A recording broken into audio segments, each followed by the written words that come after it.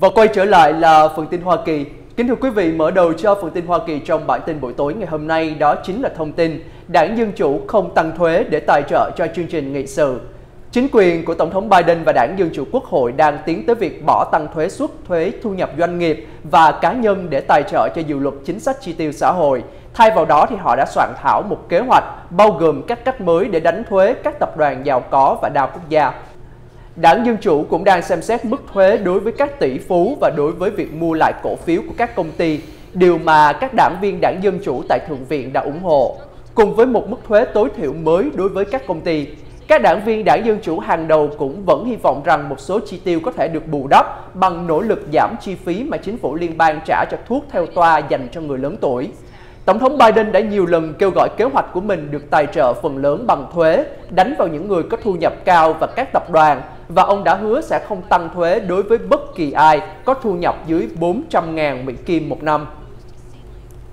Tổng thống Biden tuyên bố Hoa Kỳ sẽ bảo vệ Đài Loan nếu bị Trung Quốc xâm chiếm. Tại buổi gặp gỡ người dân địa phương tại thành phố Baltimore, tiểu bang Maryland, thường được gọi là Town Hall Meeting, do đài truyền hình CNN tổ chức tối thứ Năm ngày 21 tháng 10, Tổng thống Biden khẳng định Hoa Kỳ sẵn sàng bảo vệ Đài Loan trong trường hợp Trung Quốc tấn công hòn đảo này. Một lần nữa, tuyên bố của Tổng thống Biden về tình hình Đài Loan lại càng dấy lên nhiều tranh cãi về chiến lược của Hoa Kỳ trên vấn đề Đài Loan. Đài Loan hoan nghênh câu trả lời của Tổng thống Biden. Phát ngôn của Tổng thống Thái Anh Văn vào sáng nay tuyên bố chính phủ Hoa Kỳ qua những hành động đích thực đang chứng minh là họ ủng hộ Đài Loan và đó là một sự ủng hộ vững chắc. Ngược lại, tại Bắc Kinh, phát ngôn viên Bộ Ngoại giao Trung Quốc trong cuộc họp báo sáng nay kêu gọi Hoa Kỳ tránh gửi đi những tín hiệu sai lầm đến những thành phần đòi độc lập cho Đài Loan. Thống đốc DeSantis triệu tập cơ quan lập pháp để chống lại quy định bắt buộc tiêm vaccine. Thống đốc của tiểu bang Florida là ông Ron DeSantis vào hôm thứ Năm cho biết ông sẽ kêu gọi các nhà lập pháp tiểu bang trở lại làm việc sớm để thông qua luật chống lại các quy định về vaccine. Thống đốc của đảng Cộng Hòa cho biết ông sẽ triệu tập một phiên họp đặc biệt của cơ quan tiểu bang do GOP kiểm soát vào tháng 11 để giải quyết các yêu cầu về vaccine. Ông ấy không xác định ngày bắt đầu. Phát biểu tại cuộc họp báo vào hôm thứ Năm vừa qua thì Thống đốc DeSantis nói người dân Florida không nên bị phân biệt đối xử dựa trên các quyết định về sức khỏe của mọi người. Chúng tôi muốn cung cấp sự bảo vệ cho mọi người. Chúng tôi muốn làm rõ rằng ở Florida, quyền sống của người dân không phụ thuộc vào bất kỳ lựa chọn nào. Ông DeSantis trong nhiều tuần đã chỉ trích kế hoạch của Tòa Bạch Ốc trong việc yêu cầu tiêm chủng và tuyên bố sẽ chống lại các quy tắc như vậy trước tòa. Nhân viên Netflix đình công để phản đối sự kỳ thị người đồng tính. Hàng truyền hình Netflix đang bị nhiều áp lực vì hàng trăm nhân viên của công ty đã đình công và biểu tình tại trụ sở chính của Netflix ở Los Angeles vào thứ Tư để phản đối chương trình The Closer của nghệ sĩ hài Dave Chappelle. Theo những người biểu tình, chương trình The Closer có những câu đùa cợt nhắm tới cộng đồng người chuyển giới và điều đó khiến nhân viên Netflix, đặc biệt là người thuộc cộng đồng LGBT, tức giận và cảm thấy không được tôn trọng. Sau khi ra mắt ngày 5 tháng 10, chương trình The Closer và Netflix lập tức bị cuốn vào cuộc tranh cãi. Nhân viên của Netflix và nhiều nghệ sĩ công khai chỉ trích Dave Chappelle. Họ cho rằng nam nghệ sĩ đã có những trò đùa, lời nói sai lệch, xuyên tạc làm tổn thương người đồng tính và chuyển giới.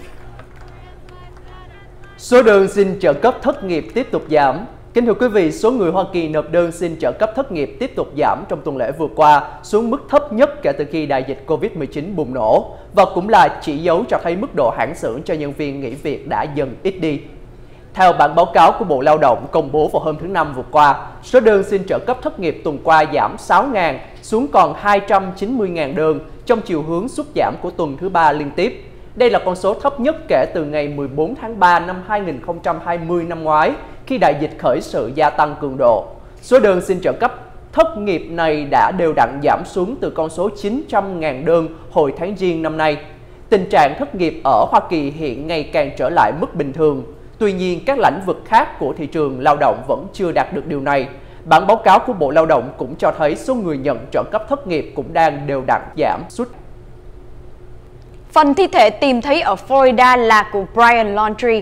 Vào thứ Năm, cơ quan FBI đã xác nhận hai cốt được tìm thấy ở khu bảo tồn thiên nhiên ở Florida, chính là Brian Laundrie, người đã bị truy lùng liên quan đến cái chết của cô Gabby Petito xảy ra cuối tháng 8 khi hai người đang trong chuyến du lịch xuyên Hoa Kỳ.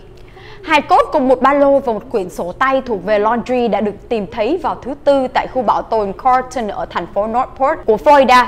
Khu vực tìm thấy hài cốt và vật chứng trước đó đã bị ngập nước và chị mới có thể tiếp cận được trong thời gian gần đây.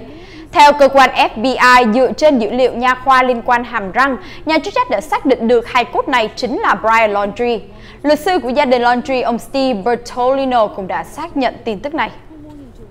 Kính thưa quý vị, thông tin vừa rồi cũng đã tạm kết thúc phần tin Hoa Kỳ trong bản tin buổi tối ngày hôm nay và nối tiếp ngay sau đây như thường lệ sẽ là phần thông tin chứng khoán.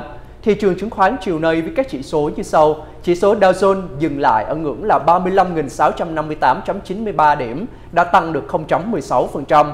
Trong khi đó thì chỉ số Nasdaq sụt giảm ở mức là 15.084.73 điểm, giảm đi 0.86%. Chỉ số S&P 500 của ngày hôm nay cũng chỉ đạt được mức là 4.541.09 điểm, giảm đi 0.19% và phân lời công cổ phiếu 10 năm của ngày hôm nay là 1.6480, giảm đi 1.67%. Giá dầu thô hôm nay là 83 đồng 44 cent cho một thùng dầu thô đã tăng 1.14%. Giá vàng tại Hoa Kỳ hôm nay là 1.797 đồng cho một ounce đã tăng 0.86%. Tại Việt Nam, giá vàng mua vào hôm nay là 57 triệu 500 ngàn đồng một lượng, bán ra là 58 triệu 200 ngàn đồng một lượng. Cũng tại Việt Nam, một đô la hôm nay đổi được 22.855 đồng tiền Việt Nam. Vừa rồi là phần tin Hoa Kỳ và chứng khoán. Sau một vài thông tin thương mại, chúng tôi sẽ quay trở lại với phần tin Việt Nam.